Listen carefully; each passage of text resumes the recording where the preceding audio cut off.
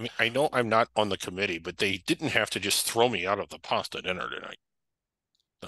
What a bad. Jeez. All right. Uh, welcome back to Hoops HD, everybody. It is Championship Week Video Notebook day number. Like they well, didn't Sleek even is want not me here. there. Sleek is not here. We don't even know what day it is. He, he's the one that Yeah. tells us. Uh, I think it's it- day number 10, actually. It's day 10. 10. It is the eve of the Thursday of championship week, which is probably my favorite college basketball day on the entire calendar. It is also pasta dinner night, guys. I that I, I got thrown out of the pasta dinner. Yep, and they got the ice cream bar afterwards too. Uh, Yeah. the, the Yeah. selection committee has officially begun meeting at uh, wherever it is that they meet, some hotel room in secret bunker Yeah. somewhere. Well, not a bunker. Griggs is in the only bunker that we've got. Uh, I'm Chad Sherwood, by the way. Uh, let me go back to the gallery view here. David Griggs below me. Uh, sorry, David Griggs to the side of me. David Dorman below me. John Salika might be jumping in here, might not. Who knows? Uh, but it's late, and we're going to get going here. open bar at the at the pasta dinner. Yes, Yes. yeah. Oh, okay. We, That's why. That's why you got thrown out. yeah. And Um, back into the bunker. Too much This- vino. This is our Championship Week video notebook where we begin with news and notes. Uh, and uh, watch before we go to news and notes, I want to again welcome everybody who's new to the website. Uh, tons of traffic. You guys have made this our best month ever this month, or soon will. You know, probably by sometime tomorrow will become our best month we've ever had at Hoops HD. Tons of new followers on Twitter as well. So if you're watching the podcast here for the first time, uh, I'm sorry that that you have to watch this. It's going to be pretty lousy, but It's great. No, I'm just having fun. Uh, yeah, uh, but we do have news and notes, and uh, let's start with the big one, the big, big, big, biggest one of them all. Uh, Dorman, Jim Boeheim. Maybe it's not officially a retirement. It's the official word is he will not be back next year.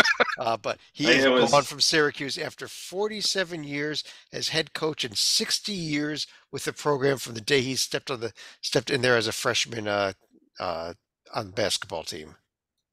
That's an incredible run. I mean, 60 years at one place is incredible. Um, I, I, can't uh, back him for the way he spoke to the press and the media and some kids here and there, but what he's done over the last 50, 40 years for the game of college basketball has been unbelievable. He has uh, won a lot of big games. He has uh, brought the 2 3 zone to new levels that no one thought would be brought. 20 years ago, people said he had to kick it over and get rid of it. He said no, and he was right. Went on to win a championship with the Carmelo, McNamara, Hakim Warrick team in New Orleans. Uh, they beat Kansas in the championship. I believe it was four Final Fours and many wonderful, tremendous men he put through the program. So uh, I grew up watching the Big East on uh, Big Monday with Boeheim and Big John Thompson and Carnesecca and all, and that was just the best. That was when ESPN It had really those was. huge. It was the best. So I wish him all the best. He was great for the game. Right. Um, maybe somebody that did not quite go out on the same note that, that he did, but uh, Griggs uh, not done with his career pro- pro- probably, but Mark Adams officially resigned as Texas Tech's head coach today after, uh, you know, this guy was national coach of the year last year. I mean, wow. Yeah, in largely because, and he did resign. At least that's what is being pointed out. Texas Tech uh, would have allowed him to come back, but I just don't think he wanted to deal with the distractions or anything like that. I don't know exactly what the comment was. I mean, I know what it about what it was or approximately what it was, and I certainly saw what everybody else saw about what they Oh, oh, oh referenced. Griggs, you, Griggs, you asked in the email when I when I emailed that he resigned. You asked what yeah, he said. his I, comment I, was, to- I "I told resigned." you. I Yeah. told you what he said was I resigned. Yeah. Go ahead. I, I just want to say that, like, I, I think I've made this point before. College basketball coaches, they're nothing like professors or academics or PhDs, except for one thing. They know an awful lot, a lot of them, about one specific thing. And then once you swerve away from that thing, sometimes they don't know much of anything. Sometimes they don't know what to say. Uh, they say the wrong things. Uh, not the same sport. I remember Howard Schnellenberger, a football coach, once didn't know who Elvis Presley was. Uh, So, so it isn't that surprising when when sometimes they say things inappropriate. I don't think. While I don't condone the comment, I don't think it's necessarily what's in his heart or what his ideology is. Nor do I necessarily think it makes him a bad person. I just think he said something dumb, and I would have liked to have thought some other form of corrective action could have been taken uh, to where the, he didn't have to leave over it. But I don't. I'd rather not get into that debate tonight. It's the middle of the night. Yeah, we we, we can obviously debate that this type of stuff during the off season and, and further. But uh, one other thing uh, we discussed, Jaylen Clark for UCLA out for the Pac-12 tournament. Uh, it is now official he is actually out for uh, the entire season with the injury. Uh, I guess that trainer was wrong. That said he'd be back in a week. yeah. Uh, uh, that's a big loss. Uh, I got to tell you, he, he was scoring a little more and he was catching on on the offense. But as far as defense go, I'll take that kid over almost anyone in the country. He is a lockdown defender. He is as good as anyone in the country.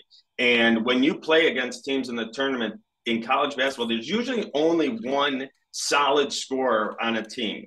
Uh, when you have a lockdown uh, defender like him and you can stick him on uh, that player, that's a huge advantage. That's going to be a big loss for UCLA. Yep. All right. Let's get let's get to the what happened on the court today, though, and uh, we will begin by trying to get the screen share to work. That's uh, uh, if you call sometimes. But we had three championships decided today. Uh, beginning, let's start with the first one that was decided of the three, the Southland Conference. And Griggs, this was a heck of a game between Corpus Christi and Northwestern State. Uh, kind of uh, back and forth after Northwestern State had a big first half lead that, that they lost. Yeah, uh, we thought it was going to be a good game. It really was. These were clearly the two best teams they had been all year. Uh, Northwestern State was just all over the map. They had a fantastic season as a whole. Had some really big wins. A big win against TCU. I want to say they had a big win against Southern Miss as well. But in conference play, Texas uh, Corpus Christi was just a little more consistent, um, and you know they got the win today. Uh, so Tamu CC back to back years the Islanders going dancing. Yes, uh, and we lost. Oh, crap! Where's share. my video? Yeah, we lost the screen share there uh, for a second, but uh, right. uh, as I try to free throws, as I try to get, get this back up again here, uh, Dorman, the other, the second champ, the second conference championship game that we had today was in the Patriot League, uh, where That's, there it is. It's coming up. It's coming up. I had to get the. We lost the screen share there for a second, Griggs. Uh, Colgate, uh, as we almost thought they would do, they just just they just took care of Lafayette fairly easily. They jump out to leads and they don't let teams back in it. It reminds me a lot of what Vermont does in the NEC. They just throttle these teams in their conference. They devastate them early and they don't let them back into it. This was Colgate's tournament. They played great the whole way through on their home court. This is their third year in the tournament in a row. Uh, a lot of times we've seen when these these 14 15 seeded uh, schools that have been there more than once they know the routine they know the flow now. Sometimes they feel more comfortable. They might be able to give someone a scare. Yeah, yeah. Uh, so, so three yeah i was gonna say three straight not only three straight but four out of the last five patriot yeah. league tournament championships won by yeah, colgate. uh, colgate kind of disappointing here failing to win a single game by more than 20 points. Uh yeah, 19 points, 18 points, 17 points. Yeah, it was it was they just dominated this tournament. Um, yeah.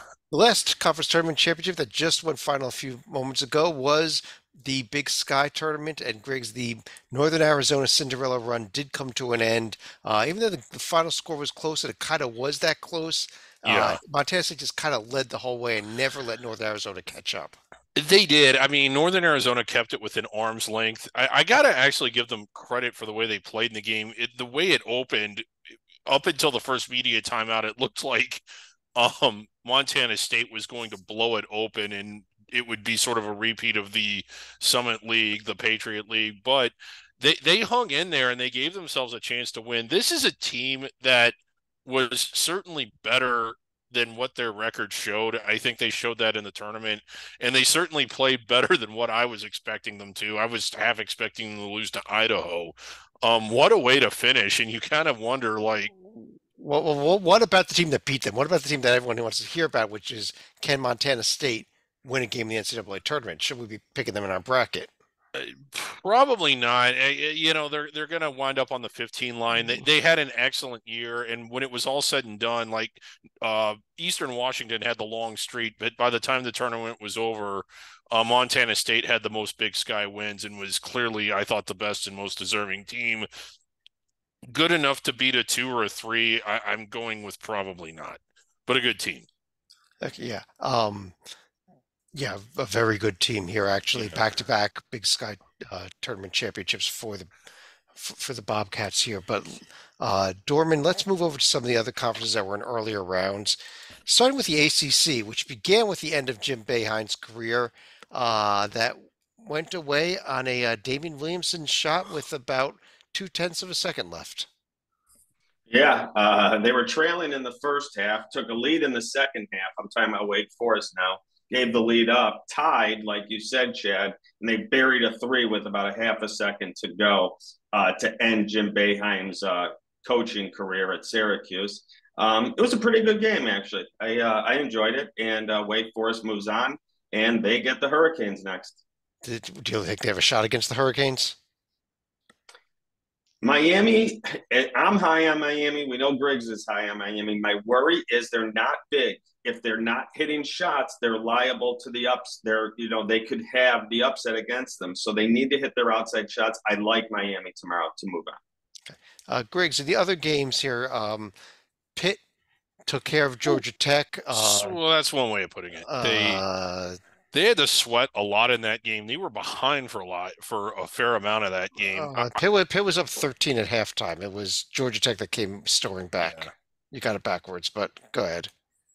Oh, well, they. I mean, yeah, yeah, Georgia Tech came storming back. Like I said, Pitt was ahead for a lot of.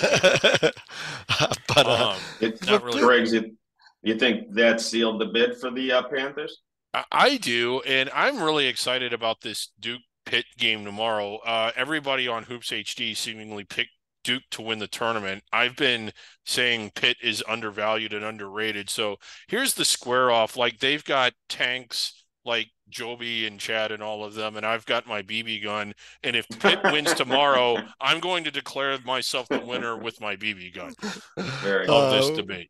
We got John Sleeka joining us. We thought he might be, be hopping in here at some point. First of all, good morning. And second of all, uh, uh, we're in the middle of the ACC, John, where the late two games were complete blowouts as North Carolina took care of BC and NC State took care of uh, Tech.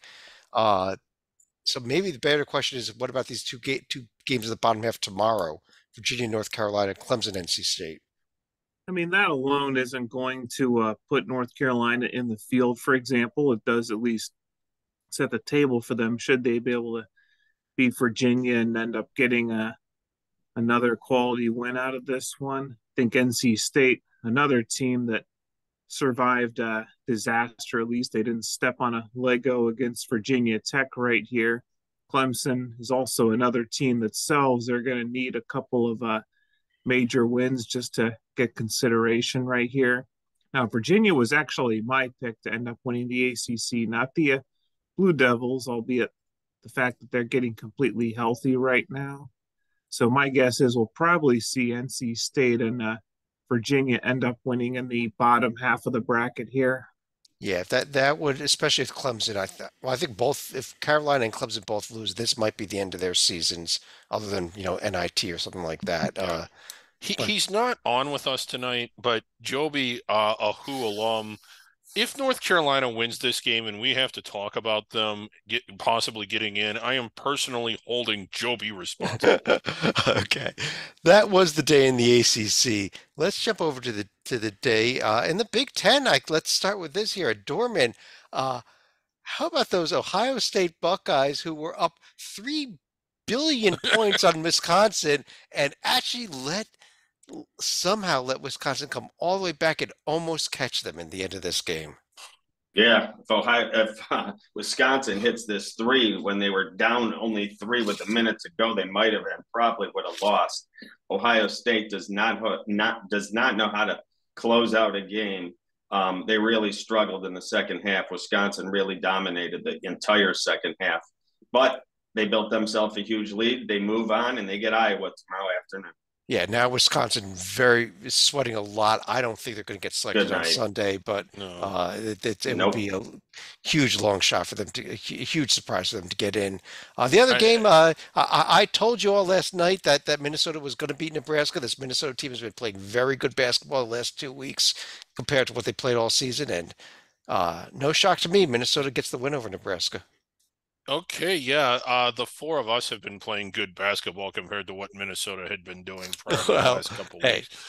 Uh, but Um, G- Greg's, we got four games tomorrow, and they're four fascinating. Well, at least two of the four are fascinating. I think the Michigan Rutgers game, Illinois Penn State, huge bubble implications.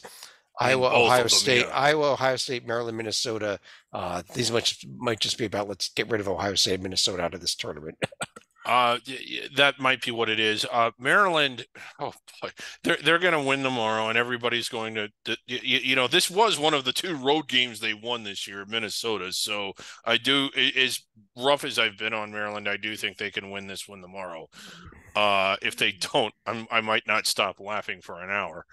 But um, yeah, the big game, I think, well, well, but like Illinois, Penn State, because.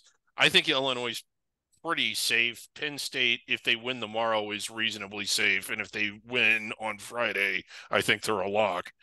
But Michigan, Rutgers too, um, because the it sets up with a game against Purdue, and obviously, if one of those teams is able to win that, it's not even close. But the question is, if Michigan loses tomorrow, I think they're done. But if they win tomorrow, is that enough? Eh, I, I don't know that that's enough Yeah. for, for Michigan. I, I think it's a bigger game for Rutgers. I think Rutgers with the win tomorrow is probably going to be in. Um, I know I'm a Rutgers guy, so you know maybe I've given a little extra to my team here, but uh, Michigan, if they win, ooh, I, I, I, they may need to beat Purdue as well, uh, which I know is a tall order, but you know that they don't have what Rutgers has at the top of the profile, which is that win at Purdue Right. already on, in there. And the Um, thing is, Michigan has been playing. I want to say that their last two losses are have been in overtime. They're really good teams, so they've been playing better. They It are just took double, double, long double overtime at double time overtime at Illinois, single overtime at Indiana, but they're losses. They're not wins. Uh, uh, right. Penn, Penn State Sleek is the other team that has that big game against Illinois. This is a I they lose this game, it becomes a very interesting profile. And, and and I get you could say, hey, listen, they beat Illinois twice this season. They you know why do they have to beat them a third time? But to which I would respond, but it gives you a chance for yet another game, uh, and that's why you need to win this game. And they also have a uh, tier 1A win at uh, Northwestern to kick off the month of March. So every little bit is going to help the Nittany Lions at this point. Also, getting that last second win against Maryland, I think, puts them on the uh, good side of the uh, cut line for the time being right here. If they can also get that opportunity for a win against Northwestern as well, then I could say Penn State is going to be safely in the field. It would not shock me, even with the loss of Penn State made it right now, especially if somebody like Rutgers drops out by losing to Michigan tomorrow. So we'll see. Um, Um, but a high stakes op- pre quarterfinal round. Yes. Uh, Every not one something those you see very often. Yeah. Uh, I d- All d- you four know- of those. yeah, I, I, I would say also let- let's let's pay attention to Ohio State, but the way they fell apart late against Wisconsin, I, I, I don't have any faith that this team could, even though they've got talent, I don't think they can beat Iowa. Right. Um, you had declared that you were deleting eh, that you were eliminating them anyway. yeah, yeah. Uh, Dorman, Big 12 opening day. West Virginia with a win over Texas Tech, and Oklahoma State with a win over Oklahoma. And neither game was really that close. I, I mean, especially not the second halves. No, West Virginia kept Texas Tech at length. Um, like I thought Texas Tech looked looked a little disinterested. They looked like they were out of it. I don't blame them. It's been a hard probably 10 days on campus and all the media with the coaching situation. And uh, um, uh, um, Oklahoma State, uh, for the third time, knocks off the Sooners. Um, that's big for Oak State um, because now they got another big chance against Texas. Like you just talked about in the Big Ten, some of those teams need to win to get their opportunity. That's exactly what the Cowboys have tomorrow. If they beat Texas, they really move the needle. And then teams like Rutgers, Michigan loser really start sweating. Penn State loser, you know, Oklahoma State starts to move up as some of these Big Ten teams lose tomorrow. Yeah, and look That's a at really good point. Yeah, but yeah. Gr- Grace, look at this round of of look at these eight teams tomorrow in these four games: Kansas, West Virginia, Baylor, Iowa State, Texas, Oklahoma State, Kansas State, TCU. I'm going to steal one of your lines. This is better than than we'd see we'd see in in in, in the final eight teams in a regional at the, in the NCAA tournament. I, I think it is like K State TCU alone. That's that's you, you know that's a three six seed. That that might be the seeds they have in the NCAA tournament. Maybe even TCU getting a little bit of a better one.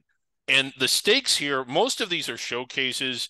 I think West Virginia has done enough. I think they're in.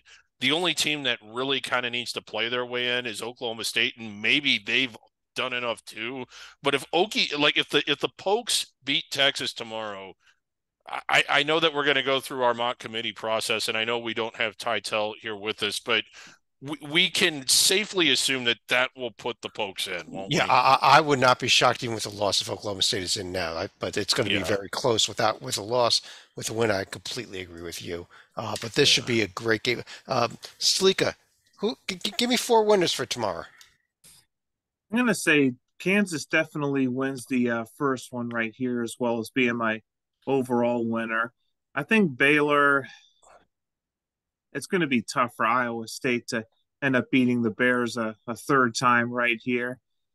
I I think if there was if I was going to go with one upset, it's going to be TCU now that they seem to be healthy again, and I'll stick with uh, Texas to win here for the time being.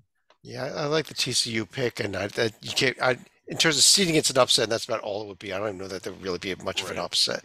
It Uh, but let's move things along to the Big East Conference, and and, What a day. and let me let me just throw this in here. Villanova blew out Georgetown. The St. John's Butler game. Uh, St. John's got a big early early lead and kind of held off any runs that Butler had.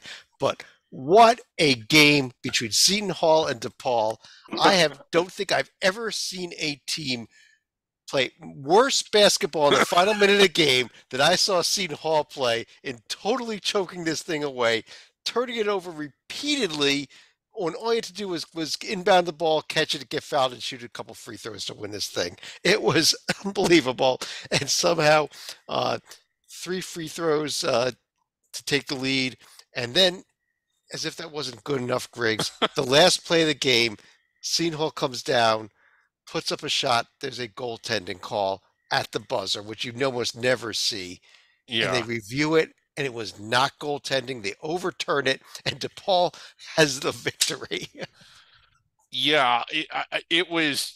By now, you've probably seen it because there's no way if you're watching this show that you weren't a big enough fan to know what happened. But I, I have not ever, ever seen, uh, a- a- uh, uh, not just to end a game, but a goaltending call where it was ruled below the cylinder, but it was actually tipped over the cylinder. So it was almost a reverse goaltend, which is not a goaltend, and the game ended. It was ridiculous. I, I Uh, can't get into the story of, of my experience watching this game. I, I'll put it this way: I was watching it live and didn't realize it was live. I thought the game was over, and that DePaul, for some reason, I thought DePaul had already won. And it wasn't until they were reviewing the play that I realized that the game was in fact not over. So what? A, w- well, we've got these four games tomorrow here. It's uh, you- Yes, Salika. Let me start with you with the bottom two games: Xavier, DePaul, your Xavier Musketeers, Creighton, Villanova. Your thoughts? Well, my thoughts are DePaul could be an interesting opponent just because they do hit the uh, three pointer well. They're also a very good foul shooting team. But if you also saw the final four seconds of the game, DePaul played literally no defense up to that goaltend, just trying to avoid a foul right there. And when they met in the uh, Cintas Center, it was a, a different story from what happened from the teams in Chicago, where Xavier just couldn't hit the uh, broadside of a barn. I do think the Musketeers are going to win somewhat comfortably in the seven o'clock game, and then the nightcap. Then you're looking about you're looking at whether or not Creighton is going to be able to defend against a team like Villanova that finally seems to have found its rhythm with uh, Moore and uh, Cam Whitmore in the lineup right now. I'm still going to go with Villanova to end up meeting Xavier in the semis as far as the bottom half goes. Okay, let's look at Dorman. How about the top half here? Uh, does Marquette have anything to worry about with St. John's? And how about this interesting UConn Providence game? I think Marquette does. If you remember, just last Saturday, St. John's had an incredible uh, comeback against Marquette in Milwaukee and just almost knocked them off. They came up just short. Um, they hit a big shot at the end, Marquette, but St. John's was really came back strong in the second half. They were down 10 or 12, came all the way back, like I said. Now the Johnnies are playing back in the garden. Uh, in this game, they'll have the home crowd there. They will. This is their city. Um, Milwaukee will bring people. They always do. But if Marquette is not on their game tomorrow, St. John's can, can win this game. I would be very careful if I was Marquette and make sure your energy level is high right out of the gates. All the right. other game, Connecticut and Providence, great game. These two teams do not like each other, and the fans really hate each other. I do like UConn in this tournament, oh. and uh, I like them to be Providence tomorrow. Providence is unfortunately going the wrong way at a very important time. Yeah, Griggs, it was a first round day in yeah. the Mountain West Conference. Today. I'm actually going to pick a, a, an upset here real quick. I'm going to go with DePaul over Xavier. Um, just Stalika, are you at the Big East? Uh, no, I'm. Oh, never mind. No, I'm going with Xavier. uh, uh, Greg, Four great Griggs, games though. Gr- yeah. Griggs Mountain West Conference, and talk about a couple. Talk about some some pretty good games here. Uh, beginning with, well, well, I guess the first two were really good. The New Mexico, Wyoming, New Mexico kind of started pulled away, pulled away late, but uh, Colorado State. Uh, and and then the UNLV game went to overtime. Uh, so your yeah. thoughts on those first two? Just that they were kind of exciting games. Uh, Colorado State, Fresno State in particular, it was sort of another bizarre ending. I I guess my thoughts on these games, Chad, is that it was kind of exciting. I think UNLV you like to think that this is on their home court and they have some momentum going and Boise State doesn't always get their motors started. So if there was going to be a potential upset tomorrow, uh, that's the one I would circle. But what I think we saw today is uh, teams that are lining up on the wrong end of mismatches tomorrow. Right. The uh, Colorado State game, it, it, was fascinating because Isaiah Stevens put this incredible move on to give them the two point lead. Fresno State then with the long inbounds, play, yeah. catches the ball, call times at calls timeout, then turns around, throws up the three anyhow, and it goes in. Yeah. Uh, obviously, it doesn't count because he called timeout. He called timeout because his coach told him to call timeout. The coach then drew up, drew up a play, which the play he drew up obviously was exactly what they ran, which was turn the ball over on the inbound. Yeah. Uh, overcoaching again on these timeouts, uh, really, really overcoaching. Um, but that said, here, um, I guess, guess Griggs, you that you said we got chalk across the board all four games tomorrow. Uh, may I, I, think UNLV might make Boise sweat. This New Mexico Utah State game is interesting. It's because I, I don't know where New Mexico is in the committee's mind. They're real schizophrenic. They have not been good at all down the stretch, but their profile still tops out pretty well, particularly with the win over St. Mary's, and they got another one against San Diego State. So if they win tomorrow, I think they're on the board at least. I don't know if it'll get them selected, but it, I think they're on the board. So kind of some important games here, but Utah State has just been looking better, a lot better than New Mexico has these last few weeks. Wyoming not good, and New Mexico, while they won by 11, they did not exactly bury them the way that you would expect a tournament team to bury the last place team in a conference like this. If you've been following us all year, you would clearly know that New Mexico is in the uh, back range puppet. Yeah. And these uh, are three real big games tomorrow, minus the San Diego State. Nevada claims they are at, at large worthy. They have got to win that game tomorrow. Boise State, I think they're on the good side of the bubble, but you don't want to lose to UNLV and have the committee that see that as their last uh, tape of you. And same with Utah State. Utah State is claiming they're at large worthy. Well, if you are, you got to beat New Mexico. You do. Three huge games in the Mountain West tomorrow. Yeah. yeah. And uh, San Jose State, 10 miles, nine wins away, just nine from their national championship. Okay. Uh, Slika, any upsets in these four games? And let's move on. If I'm looking for an upset, it probably would be that uh, UNLV and uh, Boise State right there, which I think the Broncos are really going to be sweating come Selection Sunday. But I ultimately think they're going to get their uh, suite at the uh, Dayton Holiday Inn. It was first round day in the Pac 12 where Colorado, uh, first of all, you know, actually a, real impressive performance by Julian Hammond in this game with KJ Simpson out. His, his backup, Julian Hammond, comes in as a great game for Colorado. They've advanced over Washington. Wazoo takes out Caracal. Stanford, surprisingly, over Utah. Uh, Arizona State's a 63 57 win over Oregon State. I'll get that in here. Dorman, any thoughts on what happened in these four games? Um, Washington State looked good. Cal is one of the worst D1 teams I've ever seen. Um, Arizona State was always ahead of Oregon State. The Beavers, they were up between 10 and 6 the whole way, never really sweat. But uh, tomorrow they have their big opportunity. Uh, most people believe USC is on the right side of the bubble. I'm with that.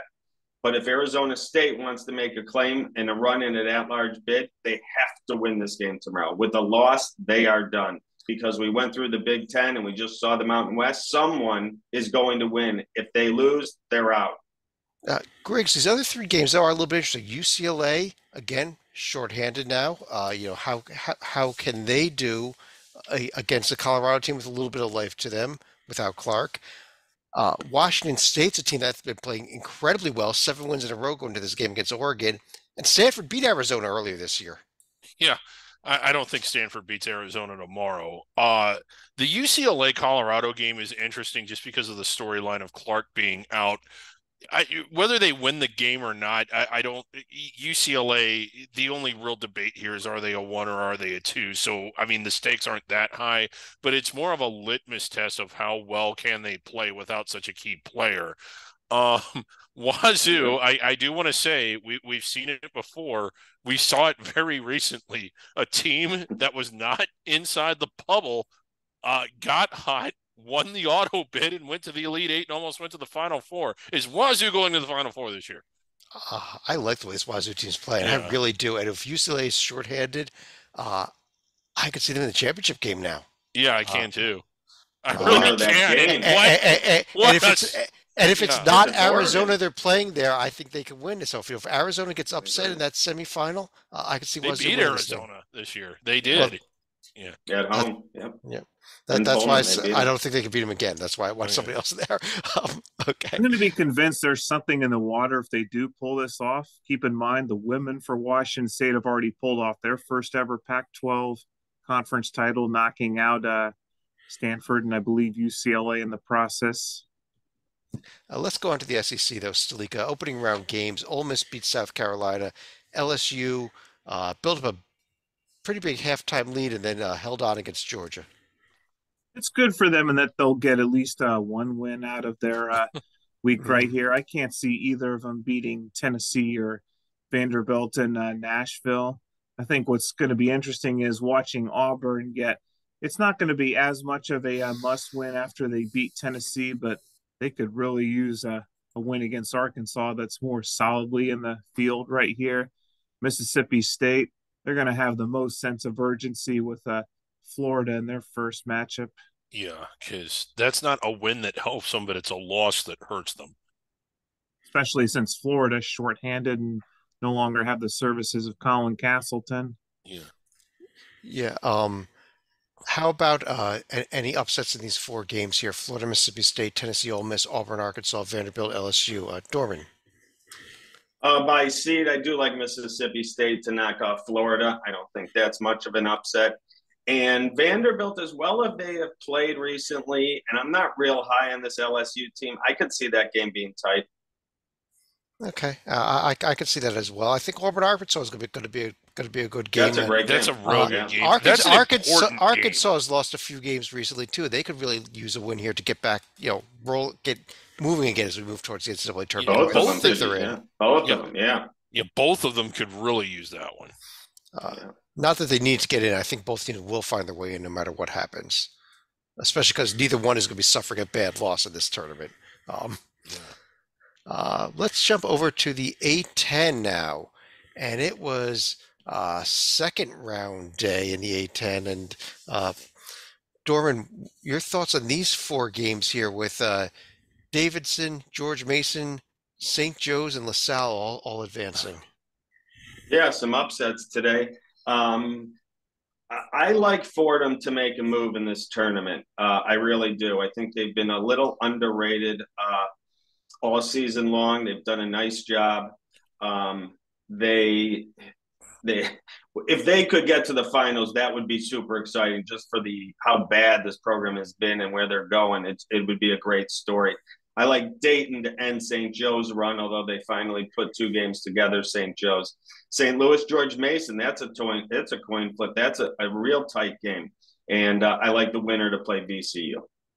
Yeah. Uh, the... how, how, about how about though Fran Dunphy making a run, two wins in a row yeah. here? Can he make a run? I mean, I think Fordham's beatable. I think Dayton is beatable. I don't know that VCU or St. Louis is beatable, but uh, for for this team, but. Huh. I, I, I don't uh, I, I don't think I, I think the chalk holds tomorrow. Fordham is is geeked up for this. Uh, they kind of got lost in the shuffle with how poor the Atlantic 10 was collectively. Uh, but Fordham really is one of the more incredible stories in college basketball, even if it's sort of an under the radar story. 24 wins this year. Like in my whole life, Fordham has never been good. I think 90% of the time they're not even good enough to win the Northeast Conference. So for them to be alive and, and th- th- like if you've been following the fan base and the Twitters, this fan base is jacked to the moon. Uh, I they're going to have more people in the Barclays Center tomorrow than what Rose Hill Gym seats. Uh, uh, Griggs, I'm, Griggs, I'm taking LaSalle in this game. I'm taking Fordham. mm-hmm. Taking. Um, taking this is the, at the end of the day. This is Fordham, uh, and it's LaSalle. Yo, I'm but taking, it's LaSalle. LaSalle's been in the tournament in recent years. LaSalle went to a Sweet 16. Yeah. yeah. Okay. Uh, the thing John is, it's been 10 years since the uh, North Philly floater put the Explorers in the Sweet 16. Yeah. Uh, yeah. Uh, even though St. Louis George Mason is a four or five game, I think there's a big gap between those two teams. I don't, I don't think Mason pulls the upset there. Um, I'm, go- but, I, I, got Fordham fever since the Penguins backed out on me. I'm this conference could get crazy. Look for anyone. Anyone could win that conference tournament. Yeah. yeah. Speaking of craziness here, Dorman, what a day at the curtain down yeah. in Frisco, Texas. Two games at the same time, one building. Uh, at least in the nightcap, and in the early game, it was just a single game. But uh, all three of these games were great games too. Yeah, they were. If you don't know what we're talking about, there's an actual tarp curtain drawn between the two courts, literally to separate them. And there's both games are going on at the same time. It's the most incredible thing you've ever yeah. seen. You think you're in a uh, fourth grade you, AAU tournament. If you're watching the games, it's incredible. You you, you get to hear things like like like live from court, from from Court A in Frisco, Texas, and yeah. and we've got a close game here. Just and we've got a close one next door as well. I mean, it's uh, but but what I don't know how they games? don't get. I don't know how they don't get the whistles mixed up, but uh, Western Kentucky held off UTEP Western Kentucky moves on to play the Owls, Florida Atlantic, the story of Conference USA and the story all year long almost in college basketball. Will Florida Atlantic make a move in the tournament and solidify and put the doubters out? Uh, some people say they don't belong. I think they belong. I think they're really, really good. La Tech and Fla Int went, uh, I believe it was overtime, wasn't overtime. it? Yep, it, it yeah. was overtime. It was a big run late by FIU to force the overtime. Yep crazy. Miss free throws, hit a three, throw the ball away. Like sometimes it drives you mad. But it was a good game, and it was the two teams competed. Winner gets North Texas. So La Tech, North Texas. I like North Texas to go to the finals in this tournament. I'll t- tell you what, though, La Tech gave gave Florida Atlantic a heck of a game in their regular season yeah. finale. Uh, they are a live wire team. It would not shock me if they upset North Texas. Uh, Griggs, the game of the night, though, maybe was the third one. yeah. This Rice San Antonio game, and UTSA got the ball and had the shot that looked like they won it at the buzzer, uh, like a tenth of a second too late off of his right. Uh, uh, a really rough, you know, long season for the runners comes to sort of a heartbreaking end on a last second shot that didn't quite beat the buzzer that would have won them the game. It, they initially counted it, but they went and reviewed it and like on a frame by frame basis, it was it it was one frame late. I don't know what measurement of time that is, but somewhere around not it, very very short. Um as far as the games tomorrow, I I I, I really hope the chalk holds because I think if it does, the semis are actually just going to be wild. Uh, the, the the one game that that that I that I think can go either way is that four five game, and uh, either team is is a live team though. Middle Tennessee Charlotte Yeah. could be a could be a really good game there. Yeah, it could be. And tomorrow is it's the greatest day on the sports calendar. It's the Thursday of championship week, but it is also curtain day. We don't get it in the semifinals. Uh, no, we we do we will have two two curtains going on here with the first two games and then the curtain with the second two games. North Oh, Texas La. Tech, UAB Rice, and the uh, late one. UAB also, you know, a game team we haven't discussed Watch much here. team. Yeah. Uh, And if you're at the like if you buy a ticket and you're at the venue, you can walk around the concourse and go back and forth between games. It's incredible. uh, these uh, Salika, the story of March last year was the run that St. Peter's made out of the two seed in the Metro Atlantic to, to, to steal the bid when Iona got got upset early, and then go all the way to the Elite Eight in the NCAA tournament as a 15 seed. This year, St. Peter's finished 10th out of 11 teams in the conference. Uh, everybody has gone for that team, including the head coach. Yet Tuesday night they upset Head coach is gone too, thanks to the ball. Yeah. anyway, And tonight, though, uh, after Iona rolled over Mount St. Mary's, uh, St. Peter's led Rider the entire way. Uh, Well, I- keep in mind there was one point in the season where it looked like we were just trading places. Like, okay, now Siena's going to be the team to beat. Now Rider's going to be the team to beat. Now Quinnipiac's going to be the team to beat. Well, I don't think we need to worry about Rider anymore right here. yeah, but but the Peacocks are have this March magic that I don't know. They're not going to play again until Friday, but uh, yeah, I, I mean, here they go, and, and somebody's got to beat this team, or they may end up in the Final Four this year. Who knows? Um, but uh, but we've got two more games coming up tomorrow night that are, especially the Siena Niagara game. I think will be a real good one. Griggs, Marist uh, showed some life against Manhattan. They got Quinnipiac. yeah, I, I like this Quinnipiac team. Maris looked good the other night. Uh, there's been a lot of nights where they haven't looked good. There's been a lot more nights where Quinnipiac has. Uh, I I think Quinnipiac rules. You might recall that they were a team that in November and December we were particularly excited about. They they still had a really good year. Well, they, the they, they were they were one of the last undefeated teams left yeah, in the nation. were. Actually, Yeah. one of the last seven or eight of them. Yep. Yeah, and like uh, they they've had a really good year this year, and I, I I just like them. I don't know if I like them to win the whole thing. I don't think they're quite where Iona is, but I think they win tomorrow and and win against the the Peacocks on Friday. Well, Dorman, what about Siena Niagara? Who you got? I'm taking Siena because I want to see Siena Iona again, part three. Yeah, Uh, MEAC, it was first round. It, it was quarterfinal day, only two quarterfinals, and they were complete uh, ass kickings, honestly, by the top two seeds. yeah. If you They were. you picked a good day to to skip it, if you So didn't. I'm not even going to go over those two games. Let's go straight because straight uh, Griggs to the preview of tomorrow's two games because this Eastern Shore Morgan State game, especially, I think, could be a real good one. And then Norfolk Yeah. State gets the Fighting Juan Dixons at night.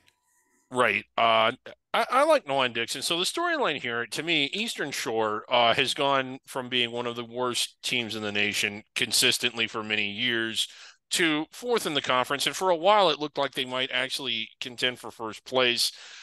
It would be fun because it has been so long. I don't even remember the last time to see him win one conference tournament game just to see him get to the semis.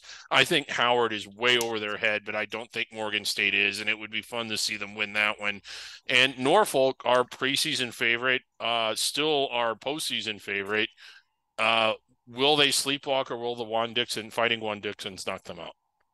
Uh, yeah, I, I could see either one happening. Yeah, Uh, they'll either win this game huge or they'll lose it. Is kind of what I'm looking at here. Uh, yeah, Dorman, it was f- also two quarterfinals stay in the SWAC, and I told you it was going to happen last night, and sure did. enough, it Yes. did. Eight seed Texas Southern knocking off Alcorn State, and they were up big in this game. It actually was not even as close as that final score. Uh, Grambling also took care of Bethune pretty easily. I give you a lot of credit, Chad. I thought Alcorn State was going to come in and take care of business, but like you said, Texas Texas Southern was banged up all year. They put it together. You told us they had been the the top class of the SWAC, and they have been, and they showed why. And they did look healthy, and they looked fresh. And Alcorn State looked slow, and they were beaten out of the gate, and never looked like they were interested. Grambling absolutely rolled Bethune Cookman, and I still like Grambling to win this tournament. Yeah, I, I, Alcorn State off to the NIT with a probably be an eight seed. Yes. Um, and uh, uh, Stalika, what about these two games tomorrow? Southern versus Alabama A&M, Jackson State versus Prairie View. I'm going to stand by one of my predictions from last night. and It's going to end up being a Grambling and uh, Southern in the title game right here. I love to see don't- that. Ah, you I don't think Prairie View is going to be knocking off Jackson State, though. That may be a little bit too much to ask of them. Uh, I could see that game going either way. I think that I think that game is going to be close. I do like the pick of Southern over Alabama A&M though. Um, big. Okay, that was it for today's games. Actually, we've got two conferences that were that we're returning to that had the day off. Uh, Greg, starting in the Big West, where it is quarterfinal round day. Irvine versus Bakersfield, Fullerton versus Hawaii, Santa Barbara versus Cal Poly, and Riverside versus Davis. Yeah, uh, the Eaters, I, I like them to roll in that one. Although the one eight Big West game, it, it always seems like, even in years where you never think it will be, that it always seems like it's a crazy game. So maybe just out of tradition, uh, does Bakersfield pull an upset or at least take it down to the wire? I don't know. You all like Hawaii. I know they've been playing well. I, I don't see them doing going all that far on the mainland. It's totally different when they're not at home. Uh, what about the bottom half of this bracket here? Uh, uh, Uh, I Dor- like I like the Gaucho. Oh, okay, you're going to go. I was gonna say, Dorman, do, do you think Cal Poly can pull off another one? And how about Davis and Riverside? Davis Riverside's up for grabs. I'm going to pick Riverside, but nothing would surprise me there. I think this whole tournament could get wild, and I like Santa Barbara to beat Cal Poly, but like Cal Poly, like they were, they Long Beach State was a better team all year long, and they destroyed Long Beach State, Cal Poly last night, two nights ago. I mean, they they looked like decent for the first time in a while. Um, so nothing would shock me here, but I am picking Barbara and Riverside. Yeah, I like how the All California Classic that, uh, opts to play their tournament in Henderson, Nevada. Hey, it's Las Vegas. More fun in Vegas. Uh, we are back in action in the WAC as well, Salika. We've got quarterfinals: Sam Houston, California Baptist, Seattle Grand Canyon, Utah Valley Tarleton, and the Beehive game between Southern Utah and Utah Tech. If I were to pick one uh, transitional team that would probably end up causing some damage, it probably would be a Utah Tech right here. Hmm. I still think Utah Valley is going to be my pick to win the whole thing. Seattle is another wild card that I think could potentially be enough of a noisemaker to get to the championship game at least. Yeah, Grand Canyon uh, lost one of their best players a few, like mid-February, so they've been a little short-handed. Um, I do like the pick of Seattle there. Um, Dorman, California Baptist doesn't have a shot against Sam Houston, do they? I do not think so. I love the way Sam Houston plays defense. They are all over you from the get go. I still am going with Houston to win this tournament. Uh, we have two more conferences getting into play t- tomorrow that have not yet tipped off. Uh, the first of those being the American Griggs, where it Yeah. is first round day. Let's start with these three games: South Florida, East Carolina, UCF, SMU, Wichita, Tulsa. Anything worth watching in any of these games here? UCF, I don't know what happened to him. Them. There were times that this during the year they looked like a top twenty-five team. Uh, the last three or four weeks were not one of those times. I, I do think they win tomorrow, and they have it in them to play really well. So Houston, I, I think the bigger game is on Friday. We'll get to that tomorrow, if assuming UCF even gets past SMU. But what we're sort of, I, I, I, all, I not to not to crap on games that we're trying to preview and build up, but I think the storylines here, Chad, are who's going to be on the short end of a lopsided game on Friday. And uh, let's talk about though the entire tournament here. Uh, anybody? Let me start with Sleeka. Is it Houston and Memphis, and does Houston win it all? I actually think this is the one tournament where we could get a major surprise on Sunday. I am taking the Bearcats to be the uh, the surprise champion out of the American right here. That's a ah. hell of a pick. Cincinnati has wow. been playing really well down the stretch. They've got a big hurdle in the semis. They got a big hurdle. The qu- they got a big hurdle the quarters before that. I don't know. if They get by Temple. They could. Uh, I I don't like the pick, but uh, you know I could be wrong. I'd if I was going to pick a crazy team to win this, I'd go Tulane. Me too. I'm with I'd you, Chad. uh, Dorman, who do you have actually winning it? I'm gonna. I. It's really tight. I think Memphis. I would like to see Memphis Tulane and in a Saturday semifinal. I really think that would be a good matchup. I'm going to take Memphis to beat Houston the third time. So Memphis. I like that pick. I'm with you, Griggs. I'm going Houston. Yeah, that's you can't go wrong with that pick either. yeah. uh, finally, one more conference that, that starts tomorrow. It is first quarterfinal round day in the Mid American, in the MAC. Uh, Stalika, you're our Ohio guy, and these are all a bunch of Ohio teams with only a couple exceptions. Uh, Toledo gets Miami, Ohio, Ball State, Ohio, U, Kent State, Northern Illinois, Akron, Buffalo. Uh, the big thing is, can we get those top four seeds into the quarterfinals? Uh, sorry, into the semifinals, Amazing. or do we get, or do we get anybody upset tomorrow? I think Toledo is a team that has to be on upset alert right here. Miami wow. has actually been playing their best basketball of the year. I don't think it's going to be enough to beat the Rockets right here. I think Ball State is another team that I think could be a surprise team that ends up in the uh, championship game. I don't know if they're going to get past the wagon wheel winner. I don't see either Northern Illinois or Buffalo upsetting Kent State or Akron on the way. I'm going to go the, with uh, yeah. Kent State to end up winning the whole thing here. Griggs? Yeah, I, a, a, potential slash probable wagon wheel semifinal. We're, we're used to seeing that in the championship game. I'm going with Kent State as well. Uh, I think the chalk does hold tomorrow with all four. I, I just think that there's a big gap between four and five, although Ohio has shown signs of life. Uh, and I do think that any one of those four teams could win this, but I'm going to go with Kent State. I've been big on them all year, so why stop now? i also want to preface this by saying if Kent State does win in the semifinal this year, please do not do what you do last year. do not post any celebrations onto the internet. Yeah. Uh, I'm taking Toledo. Dorman, who do you got? I would love to see Toledo play Kent State in the final. Uh, I think those two teams are are much better than the rest of the conference, and it's a tremendous rivalry and to be a tremendous game with a bid on the line. So Kent State, Toledo in the championship, and I'm going to go with Kent State. Okay. Uh, let's jump over to our survival board here. This is a tool we do for the NCAA Tournament Selection Committee where we track how many teams are left alive with a chance to win it yeah. all, as well as whether they, those teams are locks or under consideration or the like. And heading into the day today, we had 188 teams left with a chance. Uh, yeah. As a result of today's action, uh, we have a buzzer. Let's try it again. Wow. 156, and actually, let's make that 154 because neither that late Big Sky nor the last, uh, nor Oregon State's loss quite got in there before the show started. So 154 is actually the number left right now. Uh, Griggs, tell people what, what what what this whole all these different different categories in here mean, though. Okay. Well, yeah, the selection committee, as you mentioned, we do this for them.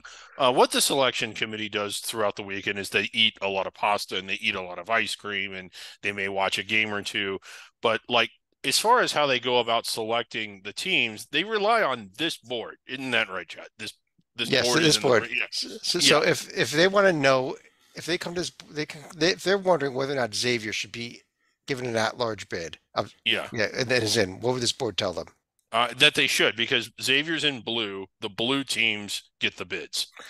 If they're wondering whether or not Oklahoma should get an, Yeah. an at-large bid? What would the board I- tell them? I- I- in one might wonder that where is Oklahoma? I got to see myself. Uh, one might wonder, yeah, uh, they, yeah, In Norman. yeah, it's in Norman. Well, you, you, you know, that's a good question. And they would come here and say, no, no, they shouldn't. Like, we don't even need to, to debate them because Oklahoma is totally eliminated. They've, they have, a, they've been struck through. What if they're thinking though about Oklahoma State? The, o- And yeah, and, and this is the one thing you can't do everything for them. I mean, you, you know, we want them to enjoy their pasta and their ice cream and and you, you know all the food and like what else. I think they play Twister in there and things like that. But um, uh, we do leave some of it up to them. The teams that are in green, the committee needs to decide for themselves. uh, I guess that's all we have for the night, right? No, no, no. I'm getting. night. I'm getting out. I'm getting out. I'm getting out. Uh, I should have okay. gotten out Thoughts, last night. I had the answer right. Okay. What's We- the league? got? I said final thoughts. Final thought. Yeah. Uh, uh, as you all know, David Griggs is locked safely away in the puppet bunker behind many, many, many locks and some kind of weird combination number pad there and everything. Uh, but I shouldn't be in here. uh, in order to get out, all he have to do is guess the two, guess a pair of blind resumes. So I've got a pair of blind Ah! resumes here, and, Gri- and Griggs, as long as you can tell us who these two teams are, left and the right, you can get out. So go ahead. Well, Chad. Get rid of the replays. Enough You- of the you- replays. Okay, Okay, go- go ahead. No more replays. Uh, Okay, um, hold on, hold on. Uh, Yeah, we'll get like Chad. You really messed up this time. We looked at this earlier. You showed these two, these two things earlier in the show. On the left, I see the win at Purdue. I see the win against Northwestern. On the right, oh, there, there's the loss to Eastern, or was it Central Michigan? I know who these are. I don't even. They're in the same conference. They're actually playing each other tomorrow. I'm getting out. the teams are Rutgers on the left and, and, and Michigan I'm the sorry, I heard the buzzer there, Griggs. Time is up. What? Uh, No, you no. did not Fuck. get that decision in in No. time. What do you mean time is up? There's a time limit on these things. I heard Shot the clock. buzzer. Anything The shot clock went off. You did not get it in. You you lose. yeah. What? Well, I'll tell you what. I was answering the question. I'll tell you what. Let's go to the replay here. I, I let me get the No monitor out. replays. Uh, let, no let me go to the replays. let me go to the monitor I, here. got, Let me I read- know the answer. I can't stand the replays. I'm going to Move steal a line from the puppet right here. If after 60 seconds you have still not made up your mind, no, it is by definition a dispute, and therefore you are Th- staying in the th- bunker. this is different. Yeah. I'm, I'm locked in the bunker. This isn't just some. Ga- no, I answered the question. It's Rutgers and Michigan. They I, I, you, you, I know, you know I, I, I'm I'm seeing you begin to say the R. I'm hearing the buzzer here on the replay screen. Uh, I don't think he got it off. But I'm hearing also from two people that say we can't have replays. What? Uh, no, No replay. no, no. Nope. We can replay this. We can replay this. I'm Did- sorry, I'm- Griggs. You're in the bunker. uh, let's go to final thoughts, Storman. Uh, ditch school tomorrow. Make sure you watch these games. Uh, Greg stole my thunder. The next two days are the best two days of college basketball all year, the best two days of the year. Enjoy it. Uh, soon there won't be any uh, more games and we'll be so depressed. But tomorrow should be absolutely fantastic. We there's so many teams that need to win to stay alive. Losing, you're gone. Uh, teams making a run at titles. Uh, tomorrow is fantastic college basketball. uh, Slika.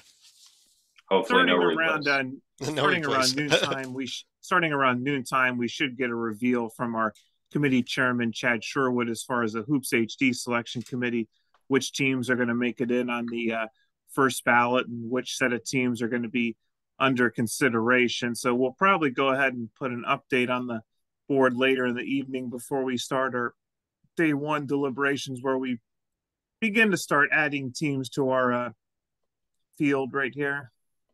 Uh, I, I can actually give a little update. I believe every vote has been cast. Uh, just to give you some numbers, uh, there are going to be 29 teams that did get at-large bid, bids, uh, in by I believe 29, and I believe they're right around the same number of teams, uh, right, right around 29 teams that are going to be going on to the under consideration board, approximately, uh, together with all of the conference regular season champions that were not otherwise voted in. And the Uh, centenary winner. In the centenary. and- Uh, tomorrow night we will be we will be deciding our centenary winner tomorrow night, our Stillings Award winner. So tune in tomorrow night's show for that as well. Uh, tune in for an update on what our committee does. We'll probably be voting seven or eight more teams in beyond what what the first ballot gave us. So a lot of exciting stuff on what the mock committee is doing. But Griggs, you want to finish off the show? Yeah, we alluded to this earlier. Uh, to uh, you know, the ACC yesterday saw Mike Brey's career come to an end, at least at Notre Dame. He might continue to coach somewhere else. And Jim Boeheim, uh, retiring after f- is it 49 years as head coach, 47. 40, 47 as head coach. Uh, who in the ACC uh, will retire tomorrow? Do you think? um, uh, yeah. Uh, Like, Maybe Brad Brownell. I don't know.